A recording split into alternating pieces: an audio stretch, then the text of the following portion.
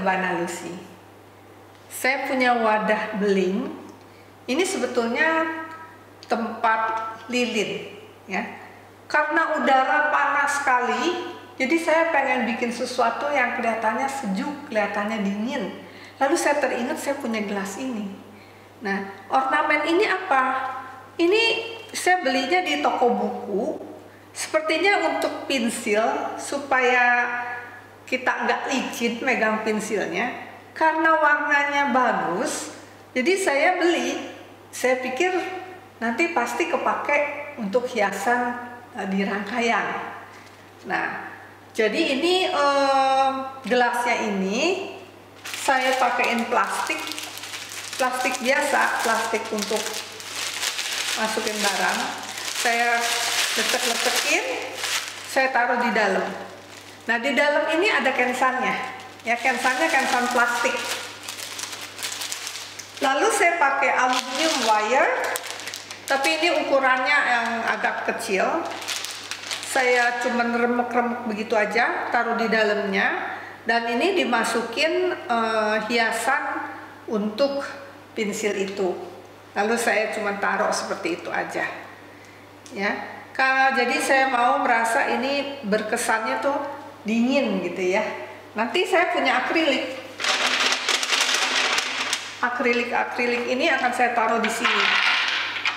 Jadi kayak es batu.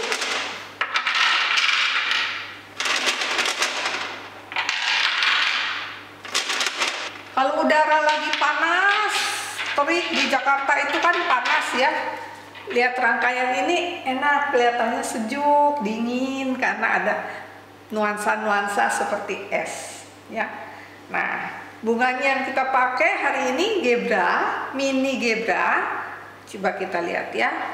Ini karena di dalamnya sudah ada kensannya, jadi saya tinggal tusuk aja. Kensannya dari plastik.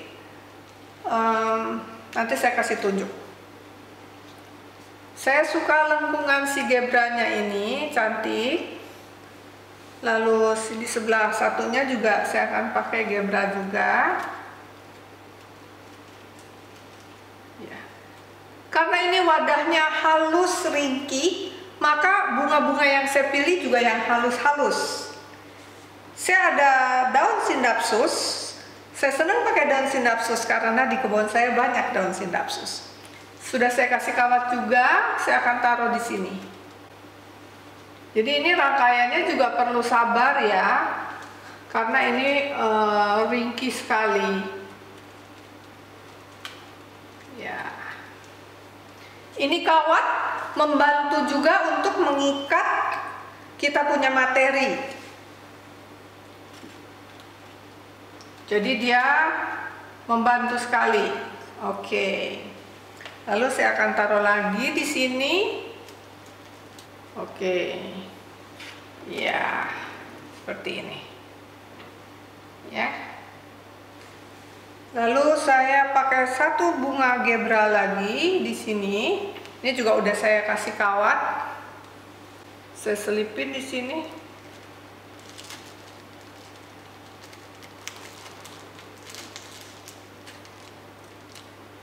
Oke. Lalu saya punya baby rose. Jadi warnanya cerah sekali. Saya potong pendek, saya taruh juga di sini sebagai contrastingnya. Lalu saya akan pakai di sebelah sini juga rose-nya. Ya, seperti ini. Saya ada skimia, skimianya juga mungil sekali. Kita taruh skimianya di sini. Satu lagi di wadah yang satunya. Jadi teman-teman perhatikan ya, saya taruh bunganya di kiri kanan kiri kanan selalu seperti itu kalau kita merangkai dua wadah supaya mendapat keseimbangan, keharmonisan. Saya mau taruh di sini. Oke. Satu lagi.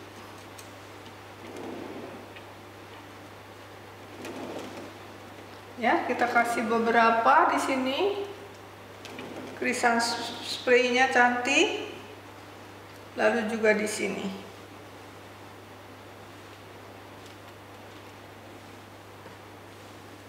Jadi ada keseimbangannya. Di dua belah wadah ada bunga yang sama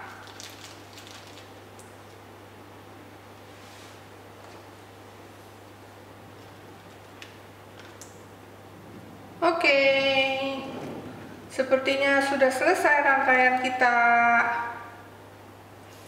Nah, rangkaiannya memakai wadah untuk lilin. Ya, dalamnya saya kasih plastik supaya dia kelihatannya seperti es dingin gitu. Lalu ini adalah akriliknya. Warna-warna untuk pensilnya ini yang bikin cantik ya karena dia matching dengan wadah beling kita. Jadi ini beda dengan rangkaian yang biasa. Kadang-kadang kita bosen juga ngerangkai pakai vas yang itu itu lagi. Jadi kita mesti mikir saya mikir apa ya yang kira-kira uh, menarik? Gitu. Jadi kebetulan ada vas beling ini maka saya coba pakai hari ini rangkaian memakai wadah beling ini. Nah ini dia Kensan plastik. Ya coba saya buka ini. Ini saya beli di headquarters bisa beli di Nihon Kadosa. Mereka jual online. Nihon Kadosa itu headquarters kita di Kyoto. Jadi seperti ini. Dia plastik transparan. Di sini ada buat lengketannya. Tapi kalau pakai kensan plastik ini kita memakai materi-materinya juga harus yang ringan-ringan. Nggak bisa yang berat yang kayu gitu nggak bisa karena dia e, bisa patah ya. Dia ada yang ini kebetulan segi empat ini yang saya pakai bulat jadi ada beberapa ukuran yang ini ukurannya juga lebih kecil. Ya itu kira-kira yang dipakai saya di dalam wadah ini. Jika suka dengan rangkaian saya silahkan di like, share, dan subscribe. Terima kasih